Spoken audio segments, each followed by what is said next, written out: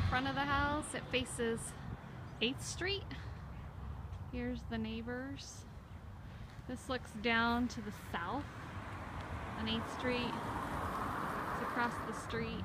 My back's to the house right now. And then this is headed towards North Avenue, which is kind of a more of a business street. The college is just across the way. And then we've got these hedges here. And then I'll walk up north on 8th Street. You can see all the traffic on North Avenue. Um, busy by Grand Junction standards.